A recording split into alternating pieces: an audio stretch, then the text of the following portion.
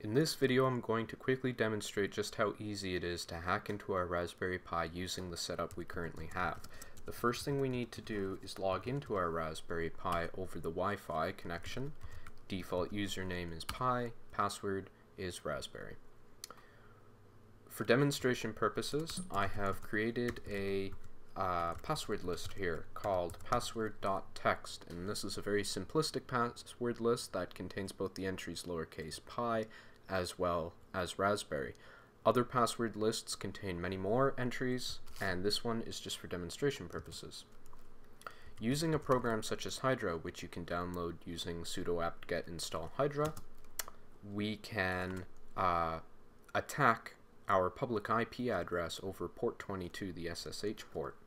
The way you go about doing that is all you have to do is specify your password list or specify a list of potential usernames, specify a password list, point it towards your public IP address, and specify that you're attacking SSH. If you do that, you'll see that in only a moment the Raspberry Pi was able to discover its own credentials, Pi and Raspberry, using the password list we gave it. Now sure, the password list was simple, but the Raspberry Pi as an attacking computer is also simple. If we used a more powerful machine and a real password list, we would still be able to crack in uh, through a similar way.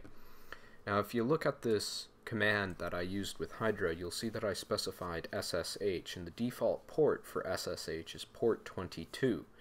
What we can do is we can change that port, and I will show you how to do that, how to change the SSH port so that we obscure where our Raspberry Pi is on our public IP address. Um, similar reason to why a tank has camouflage on it, if we hide our Raspberry Pi away uh, off of port 22, we're going to get a lot less activity on our Pi from would-be hackers. However, that is not invulnerable, of course, if we use a program such as Nmap, which you can also download off the web using the sudo apt-get install command, uh, and we specify our public IP address.